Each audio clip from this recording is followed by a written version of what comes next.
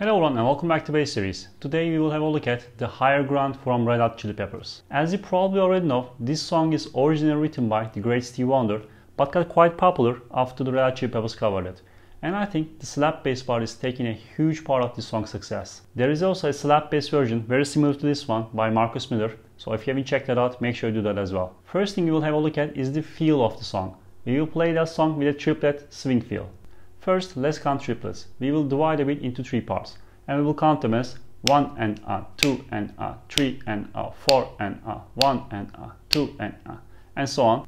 When you see the triplet field sign on the notation, instead of counting 1 and a, 2 and a, you will count first two notes together. So 1, 2, 1, 2, 1, 2, 1, a, 2, a, 3, a, 4, a, instead of 1, 2, 3, 1, 2, 3, 1, a, 2, a, 3, a, 4. Okay, when we have a look at the line, first four notes of the line are 8 notes. So instead of playing them as 8 notes regularly, we will play them with a swing feel, with a triplet feel. So instead of playing, we play as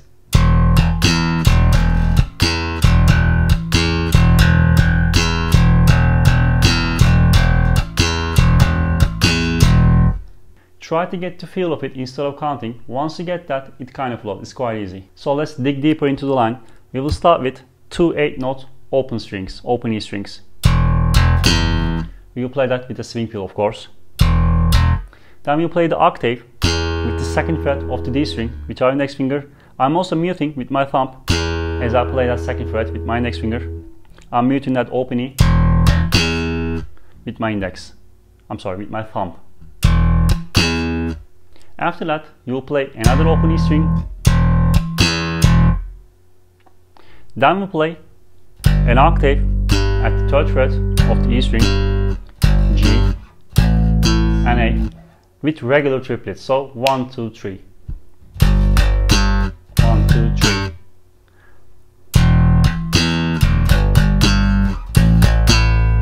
Okay. Lower octave, one higher octave. Two slaps, one pop on the triplet side. One, two, three, one, two, three. Notice that the second part, the triplet part, is always triplets. We are not trying to add any swing feel into it. Next time we play that line, when we get to the A, the fifth fret, we play one slap, one pop, one slap. From top.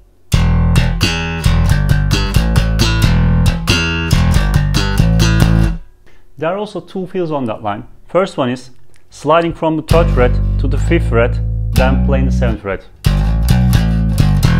Okay, slide to the fifth fret, then same fret, then fifth fret again, third fret, and open E string.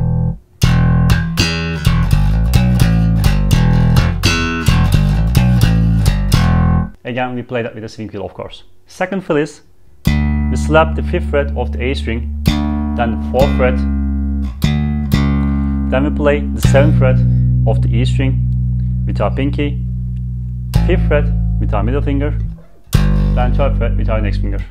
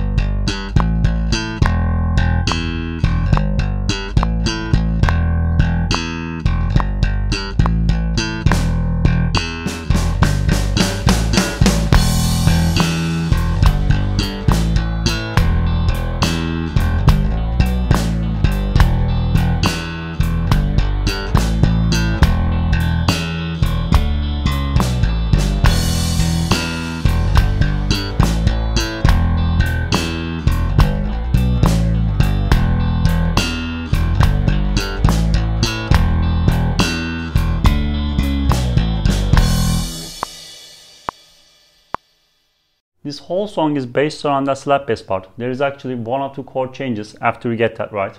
So when you get the swing feeling right, when you got those triplets, when you get that slap and pop feeling right, it will be quite easy for you to play the rest of the song. Alright, that's it for now. If you want the backing tracks or written Guitar Pro files, or maybe if you want to just support the channel, you can do that on my Patreon page. Thanks for watching. See ya.